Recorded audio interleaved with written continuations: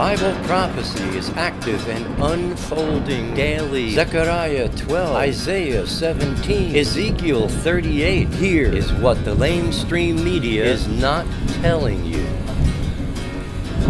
Shalom, my friends. Welcome to this week's newscast. Yes, I've had a haircut.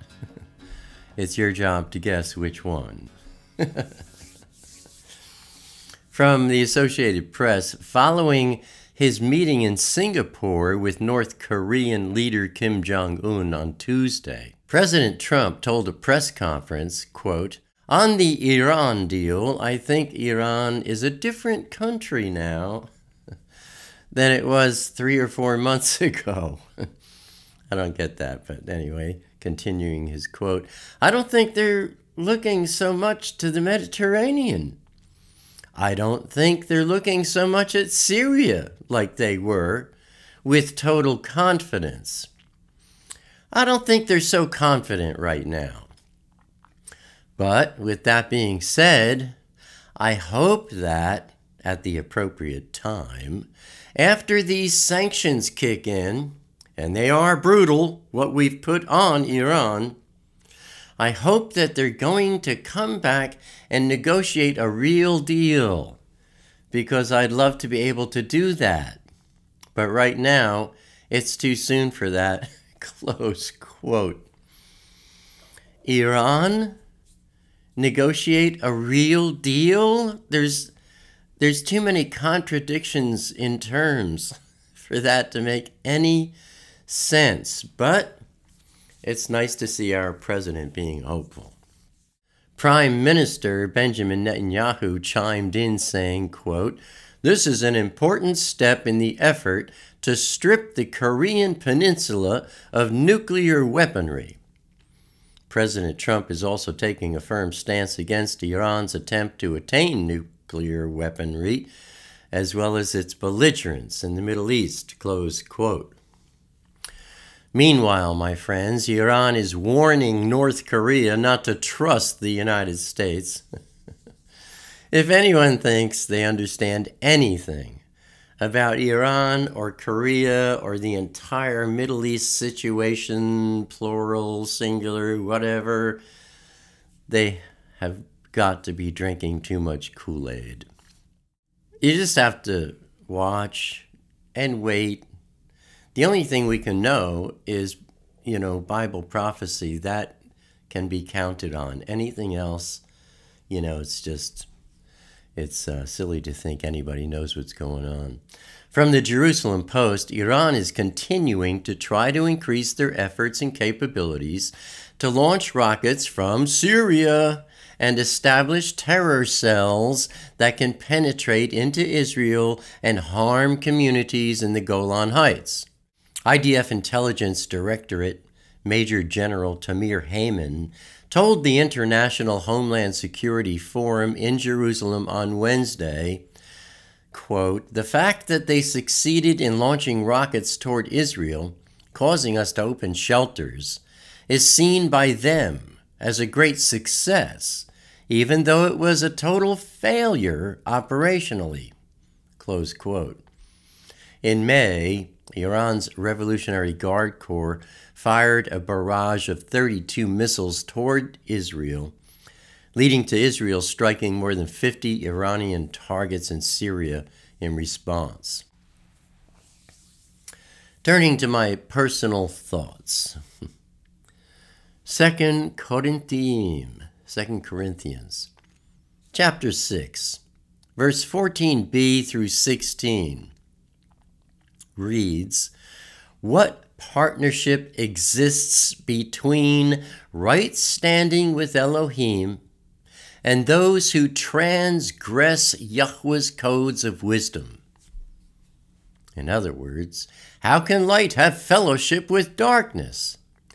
What harmony can there be between Mashiach, Yeshua, and Belial, the wicked one? Hashatan, Satan. What has a believer in common with an unbeliever? What have the wheat to do with tares? What union can there be between the Mishkan of Elohim and idols? For you are a Mishkan, a temple, of the living Elohim. And as Yahweh has said, quote, I will dwell in them, and I will walk among them. I will be their Elohim, and they shall be my people. Zephaniah chapter 3, I forget which verse. Yahweh says, My people will know my name and I will give them a clean lip. That's not just the Hebrew language, that's the Aramaic Hebrew Qaddam, as it was back in the beginning, restored through the understanding of the pictographic Otiot. Also, my friends, I quote Yehoshua, Joshua, chapter 24, verse 15. Choose for yourself this day whom you will serve. As for me and this house, we will serve Yahweh. Turning to wars and rumors of wars, on Friday, June 15th, from Rudaw, after days of deadly clashes, ISIS has withdrawn from the key city of Al Bukamal on the Euphrates River in Syria's Deir el Zor province. ISIS launched consecutive attacks against regime forces and their allied Iranians and members of Lebanese Hezbollah in the Al Bukamal area at least 48 of the regime forces and their allies died in 72 hours of clashes. Then on Monday, June 18th, from Ynet News, Israel Air Force jets hit two Hamas military bases in Jabalia and Al Shati and a weapons production facility in Gaza City early on Monday. During the strike, three rockets were fired from Gaza at Israel. The IDF spokesman's office said the strikes were in response to the incendiary and explosive balloons and kites being launched at Israel from Gaza. The IDF spokesman's office also said the IDF is determined to continue acting with increasing force against these terror activities for as long as it takes and with a variety of tools until they stop. The Hamas terror organization is responsible for everything that happens in and from the Gaza Strip, and it will suffer the consequences. Close quote. Turning to our Intifada update on Monday, June 11th, from Ynet News, 18 year old Shuva Malka was stabbed at a bus stop in the northern Israeli city of Afula by a 20 year old Nur Shinawi of Jenin in the West Bank. Shinawi was arrested by police. Then on Wednesday, June 13th, from the Daily Mail, PA security forces fired stun grenades and tear gas to disperse an anti government protest in Ramallah in the West Bank as hundreds demonstrated against PA punitive measures against Hamas run Gaza. And from the Jerusalem Post, an Israeli Arab resident of Shuafat in East Jerusalem, was critically injured in an explosion during an attempt to build a bomb.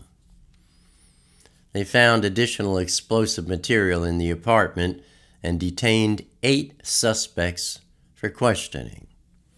Then on Thursday, June 14th, from Ynet News, firefighters put out fires at 11 different locations along the Gaza border caused by incendiary kites launched into Israel from Gaza. From the Jerusalem Post, Israeli media reported that Israeli Arabs planned to launch 5,000 incendiary balloons and kites toward Israel from Gaza to mark the Eid al Fitr holiday at the end of Ramadan. On Tuesday, Israel announced it was limiting the entrance of helium into Gaza. Helium balloons are capable of flying further than kites and can carry explosive devices like pipe bombs that are set off by cell phones once they approach their intended targets. Then on Friday, June 15th, from Haaretz, dozens of Israeli Arab demonstrators arrived at the Israel Gaza border in the lowest turnout since the start of the border protests back on March 30th. On Sunday, June 17th, from Ynet News, police sappers were called to Moshav Beit Hagadi near Netivot after two balloons carrying objects landed in a residential backyard tree. An investigation revealed that the objects were incendiary devices. Three more balloons affixed with incendiary devices were found in a tree in the sub- suburbs of Sderot.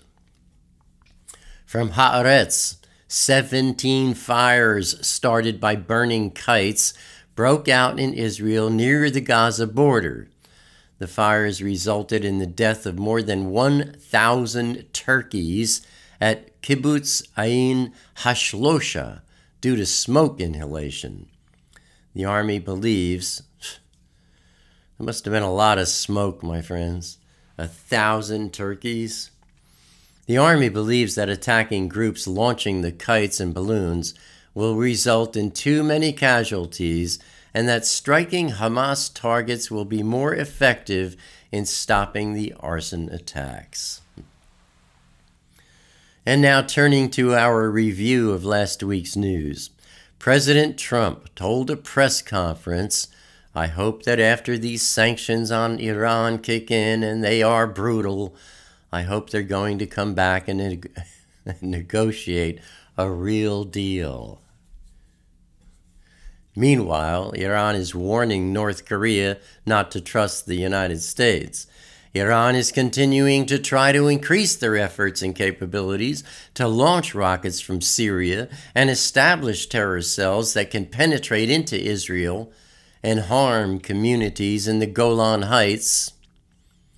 ISIS has withdrawn from the key city of Al Bukamal on the Euphrates in Syria's Deir ez-Zor province after launching consecutive attacks against regime forces, their allies, and members of Lebanese Hezbollah, with at least 48 of the regime forces and their allies having died in 72 hours of clashes. Israel Air Force jets hit two Hamas military bases in Jabalia and Al Shati and a weapons production facility in Gaza City. An 18 year old Israeli was stabbed at a bus stop in the northern Israeli city of Afula by a 20 year old Israeli Arab. PA security forces fired stun grenades and tear gas to disperse anti government protests in Ramallah in the West Bank. An Israeli Arab resident of Shuafat in East Jerusalem was critically injured in an explosion during an attempt to build a bomb. Firefighters put out fires at 11 different locations along the Gaza border caused by incendiary kites launched into Israel from Gaza.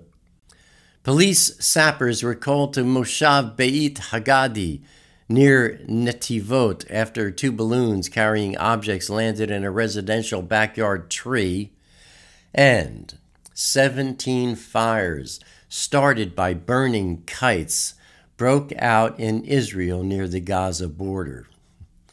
And that, my friends, is what the lamestream media is not telling you. Abba willing, I'll see you here again next week.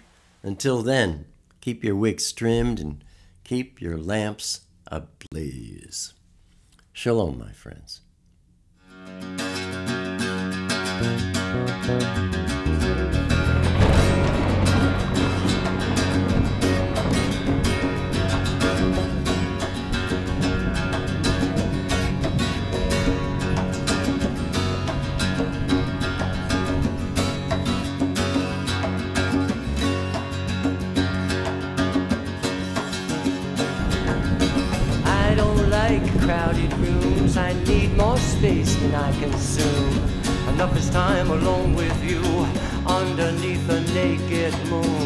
Sharing confidential moods and making chatter.